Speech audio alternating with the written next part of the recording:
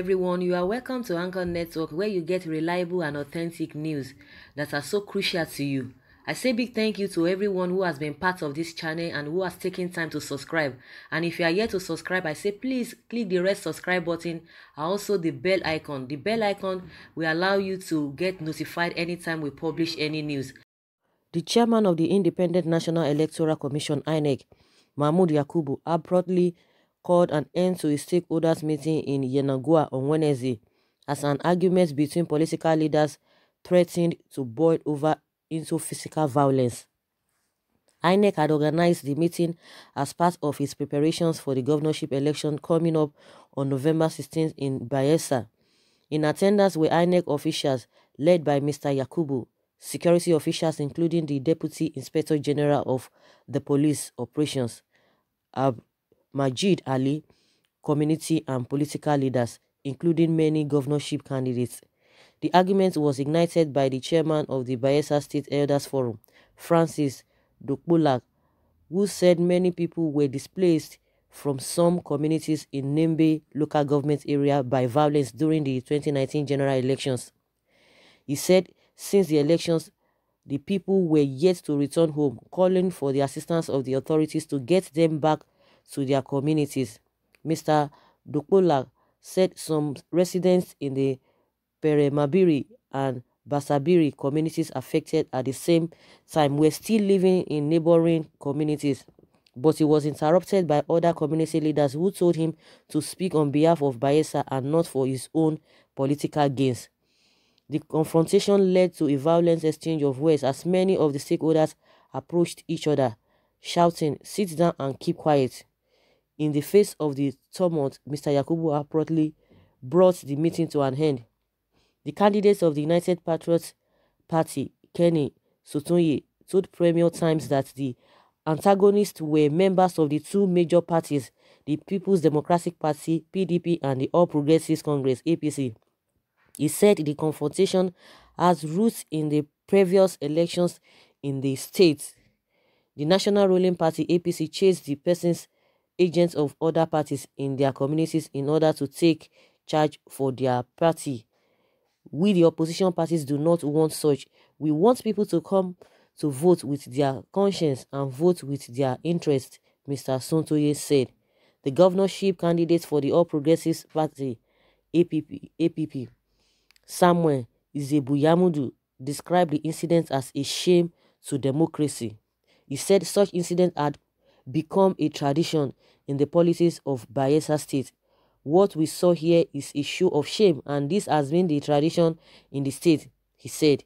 Even the military has found it difficult to curtail the scourge here when it comes to elections. In the last elections, a deputy commissioner of police was beaten up by a particular party for allegation known to them. If the military and other security personnel cannot bring calm to the state elections, there is no need for fielding candidates to be part of the elections, he said. So guys, uh, that is uh, our politicians for you. That is the politics uh, we play in Nigeria. It has always been. It's not even only in Bayelsa State. It's cut across board. It's everywhere. All the states. There's no place you can say there is peace. Is it rivers you want to talk about? Is it Lagos? Is it uh, everywhere? Everywhere. Violence here and there because you want to be you want to lead people because you want to be the head. And these are the same people by the time they get it that you see, that's why you see that violence is all, all over the place. Because even the people who are leading to they are not even matured. They are not even capable. Everybody's just uh, uh, doing what he feels or what he likes. Because by the time they get there it's just power they are looking for. And they are and for them to have a deep pocket that is just all they are all about. So what do you expect? It has always been the tradition. That after all after at the end of the day they will be telling you if new people are coming they will be telling you they don't have experience. What kind of experience are these ones go, uh, uh, going to be given to younger ones or the upcoming people who really want to go into politics? It's the same thing they are going to follow through. They are going to fall in line with this kind of character with this all with all these uh, their irregularities impunity of the highest order. And they will tell you oh some people do not have experience. You have to be this. Of course you have to be deeply rooted in all these uh, their abnormalities getting talks all manner of things getting money to be able to bribe people and at the end of the day people will still go and vote them Of course, people do not have choice because those are the people they have presented before them. So there's nothing or much they can really do when it comes to that level. And that was why the the uh, INEC chairman quickly saw and noticed the whole thing before they could break. He said he had to he had to run 440. So that is just a kind of life and this kind of uh, the situation we found ourselves. What are they teaching the younger ones? What are they teaching them? What are they teaching them? And you will be, they will tell you, oh, uh, they are this, they are that. And now when, and that's why most of the youth of these days, they are not even interested in politics. They just want to channel their own course in other things in as much is going to give them money, whether the thing is right or not, because they will tell you even the ones who are there, who who, who are claiming to be leaders, are they doing the right thing? They are not doing the right thing. And so, what moral justification do you have to do you have to to caution me or to correct me. They can't even do that. And that's why you see impunity all over the place. Because if you are saying or you are talking about somebody that this one did this thing, another person will and you are talking, what of you? What's what are you doing? Just the same uh, way had the governor of uh, Cross River State is accusing APC that what why are you talking about my going back to school? Of what use is it to you? Or why is, is it a crime? uh, uh, or is it a problem to you? After all, the people in your party did the same thing. Because if you don't take care of the little, little things, when bigger things come up, you will not be able to say anything because already you've already soiled your hands. So those are the things that we are talking about. Violence everywhere because you want to lead people. And it has to, it has to, it has to end in in in all manner of a, a violence. Just like uh, one of them was talking that even the, the general elections you can imagine that some people have not been able to come back to their homes. They have not been able to come back to their to their base. So what kind of thing are we talking about? And he was trying to tell them according to what we, we heard he was trying to tell them you know this and this and this and that. And now they are shutting him up. Sit down we are just saying it because of your political gain. So now the people, if we really want to look into the whole thing thoroughly, the people that were displaced, what are they doing about it? What are they doing about it? It's none of their business. They are not concerned, and somebody is trying to raise that uh, uh, that topic or the issue. They say don't say don't say anything about that. And these are the same people that will tell you they are they are they want to oversee their affairs. They want to be the leader of the the same community, the same people that are being displaced. You know, those are the things that we are talking about.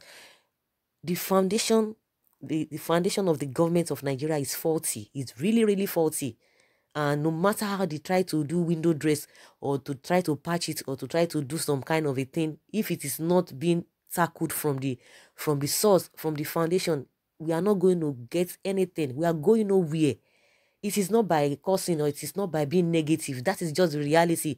You cannot just be doing window dressing to something that you know that you just have to uproot that in and start laying the real foundation so that you have a, a, a good and you know a durable uh, building or a durable institution that will last for a very very very long time but what do they do we have nothing everything is all about money everything is all about power let me get there let me do my own thing let me you know it is my time to shine that is what you are going to be hearing but the people they are talking about they are professing that they are they are leading or they want to lead, they are not concerned about them. It is only that election time you will see them.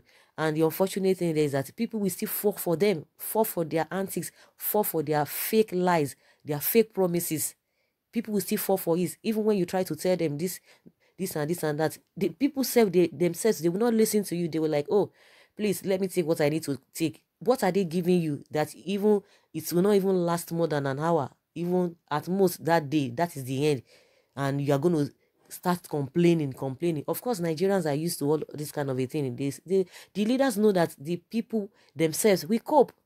That they, they will object. That after some time they can just complain, but after some time, everything will you know go back as uh, as business uh, to become business as usual. So it's really really difficult. Honestly, it's really really difficult, and that's why you see a real uh, you know all, the, all this religious body, they pray, pray, pray, pray. Nothing is happening because the right thing, you know, has not been done. Immediately, the INEC chairman, he had to leave that place. He had to end it because if if he had stayed or he continued with that meeting, something else would have happened. Maybe himself would have been, you know, he would have, he would have been partaker of a, a the violence that could have happened. He immediately stopped that. And and that was the best thing for him to do because of course even himself too he's not he might not be safe that is just the truth of the whole matter he might not be safe so he had to like you know took to his heels so guys i don't know what you think about uh, this uh, new developments in bayelsa state are they really ready to to lead the people or they are just there for their own uh, personal interest. Leave your comments below in the comment section. Bye